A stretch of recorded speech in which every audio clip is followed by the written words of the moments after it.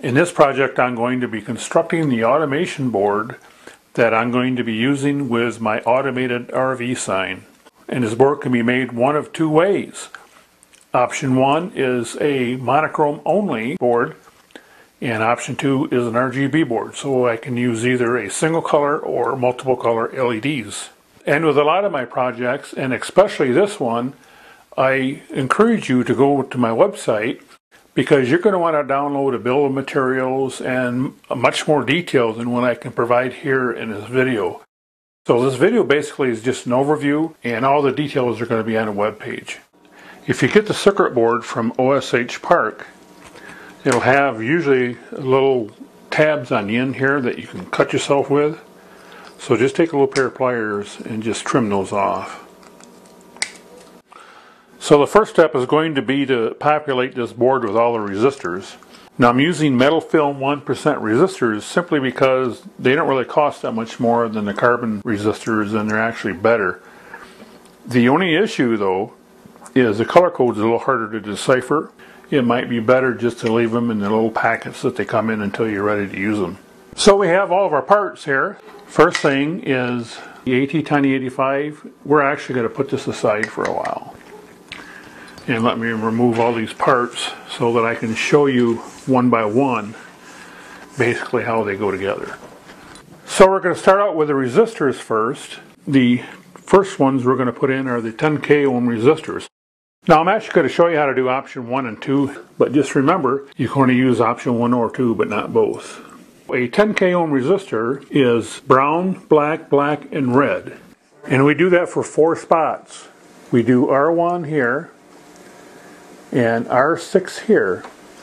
And if we're doing option 1, we would have put R9 and R10 in, but we're showing option 2, which is R2 and R3. Either these two resistors are going to be in here, or those two resistors, but not both. Next comes the 1K resistor, which is brown, black, black, brown. And that goes in R7. Next, we put in R5, which is orange, orange, black, red.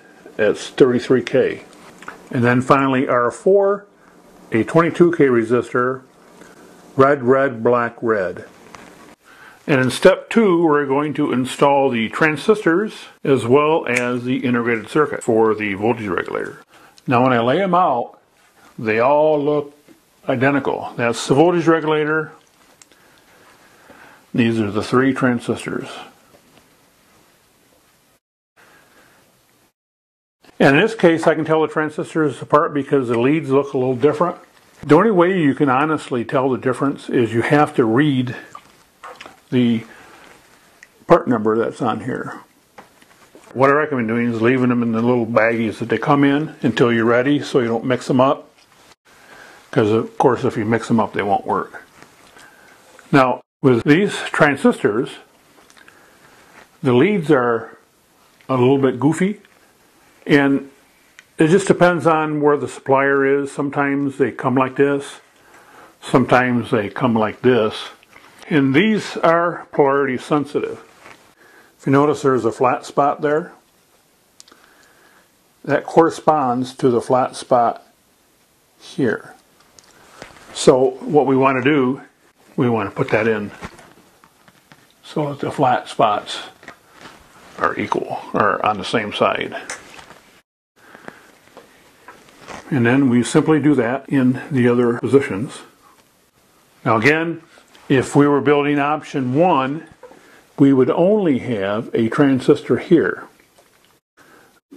With this transistor and this transistor would not be on the board, but for option two, we want all three. And then in a similar fashion, we want to do the integrated circuit. This is a 3.3 volt voltage regulator, like that. And in this step, we want to install the two electrolytic capacitors. And these are polarity sensitive, and you'll notice a short lead, and you'll also notice a stripe with a minus sign on it. That's negative.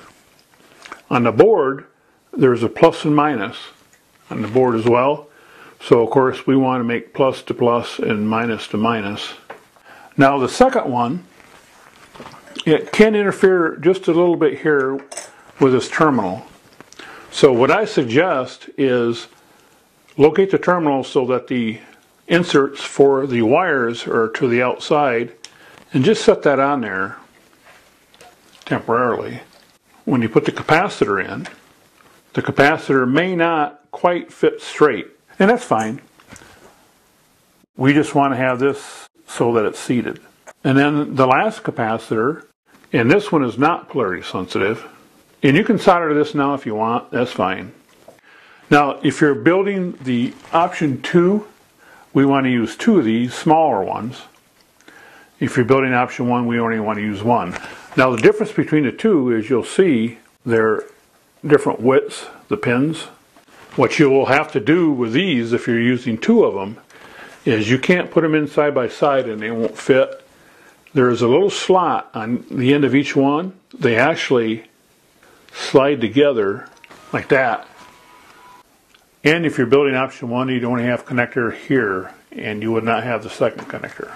And while the socket itself is not polarity sensitive, it does have a polarity mark on it because that helps you in installing the microcontroller with the correct polarity.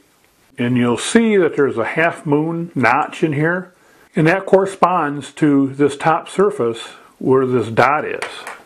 And when we install the microcontroller later, the microcontroller has a similar notch, and we just line those up. And here's the 100K potentiometer, and this is a four position switch that you would use with option one. And these switches are not polarity dependent. You can actually install them either way. And if you're building option two, you would only use two switches. And you can see where the other two switches will not be used.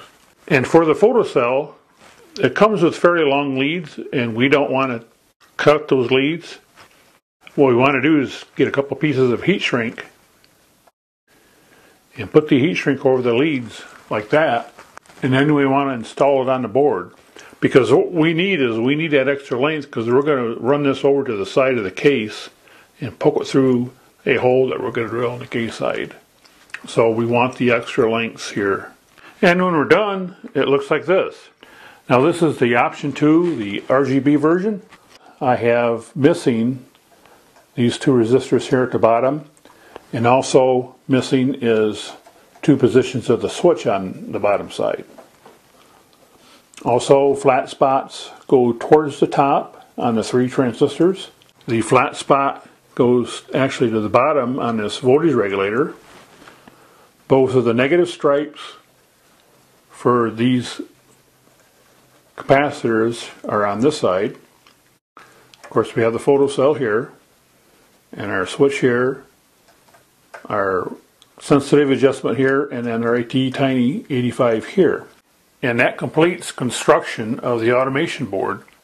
The next step is going to be programming the ATtiny 85, and I've made a video just for that because it kind of goes in depth as well.